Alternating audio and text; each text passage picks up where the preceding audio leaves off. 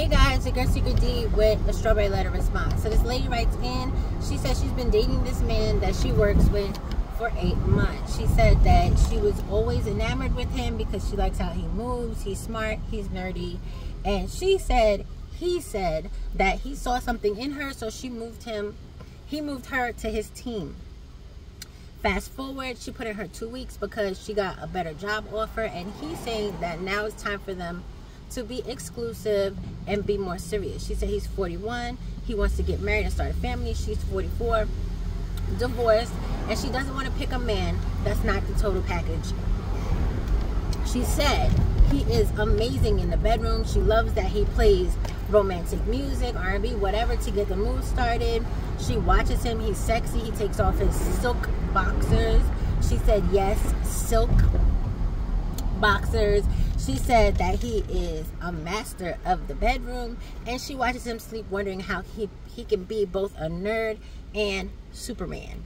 She said that she doesn't know if it's his big words he uses, yada, yada, yada, but she's essentially enamored with this man.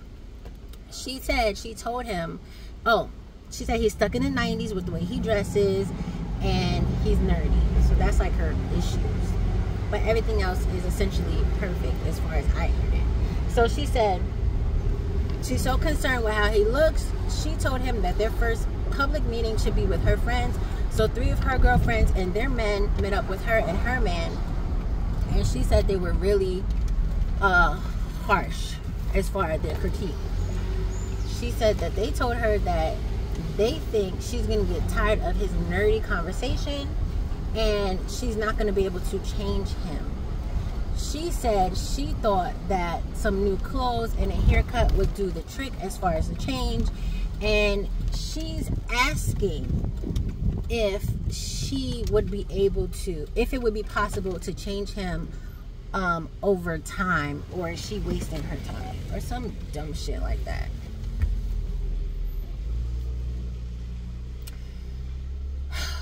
I don't understand why y'all want to date people and change them and I keep telling y'all this. If you can't see yourself with somebody long term, exactly how they are, stop wasting their time and yours because there's no guarantee you're going to be able to change them into whatever you think is acceptable in a partner.